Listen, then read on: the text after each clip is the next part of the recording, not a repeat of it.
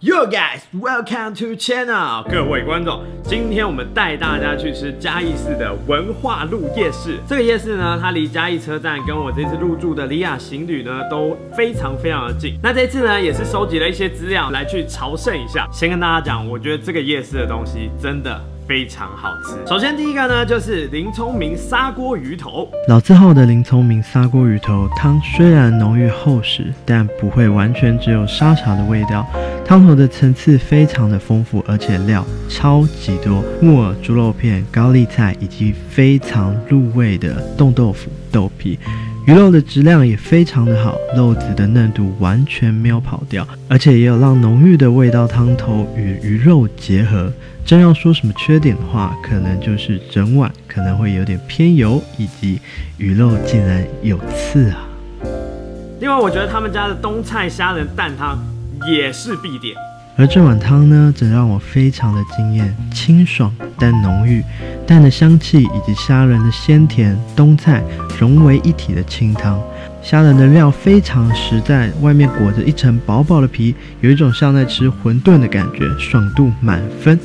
鸭蛋的部分料理方式则非常的特别，而蛋黄的部分则是全熟加半熟，同时可以有两种口感，一口蛋一口汤的组合。在嘴巴里面非常的调和疗愈。这个林聪明杀过鱼头了，真的推荐大家，如果有来嘉义的话呢，一定要抽个时间来吃吃看，绝对会让你惊艳。那在第二间呢是真真海鲜粥，这个在网络上大家推荐要吃它的海鲜粥跟鹅阿煎，但是呢，刚刚我定位了之后呢，呃，好像是在这个地方，这这个 OK 旁边或者是。那个皮鞋旁边是吗？我不确定。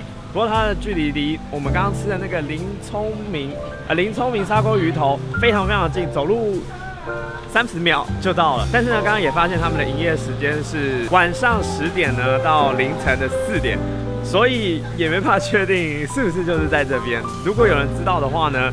告诉我一下吧。其实我反倒有那么松了一口气，因为吃完林聪明砂锅鱼头，再喝了那个虾仁汤，其实呃几乎已经是七八分饱了。原本想说呃要硬着头皮再吃个海鲜粥，但是还好没开，我们就等到下次来的时候呢再来吃吃看，然后再分享给大家。那吃完正餐之后呢，接下来的这一个甜点，我也是觉得大家有如果有来嘉义的话。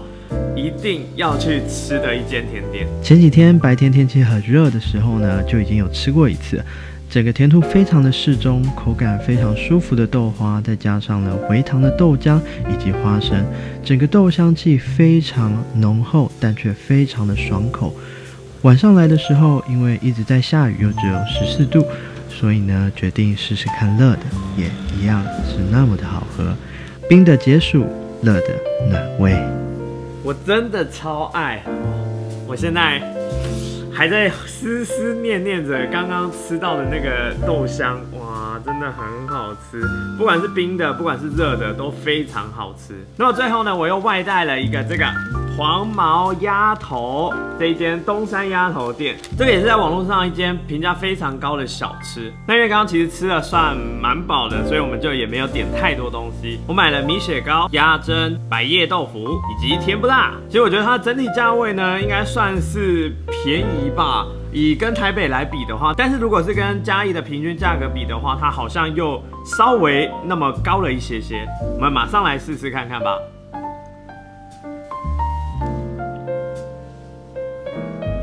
非常下酒，它卤汁的味道很厚实，非常的厚重，然后带有一点点的甜味，但是这个甜味呢，并不会把风味给抢走，而是刚刚好适中，那么蜻蜓点水的一个甜味。百叶豆腐，嗯，百叶豆腐入味的也非常非常扎实，但是。我觉得它的百叶有一点太软了，我喜欢稍微有一点点咬劲的百叶豆腐，但是它可能卤到那个咬劲都没有了，所以我对于它的口感呢就没有那么的喜欢。猪血糕，猪血糕好吃，这个猪血糕我觉得比我前几天去呃家乐福夜市吃的那间炭烤的米雪糕还要好吃。大家如果不知道我吃的是哪一间呃炭烤的米雪糕的话呢，可以点资讯卡去看看。我觉得这一间好吃非常多，不管是呃调味，或者是入味程度，或者是口感都胜。最后呢是鸭胗的部分。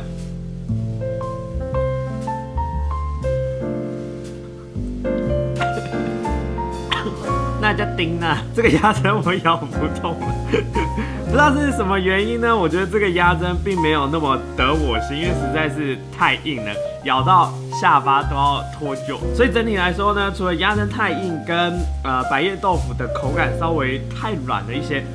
我非常的喜欢，而且它是一个非常非常适合拿来当下酒菜的小吃。好了，那么除了以上的几样小吃之外呢，在离文化路夜市不远的地方有一个圆环，在旁边有一个嘉义也是非常非常有名的饮料店，叫玉香屋。那这个玉香屋呢，我有额外拍了一支影片，大家如果有兴趣的话呢，也可以点资讯卡去看看。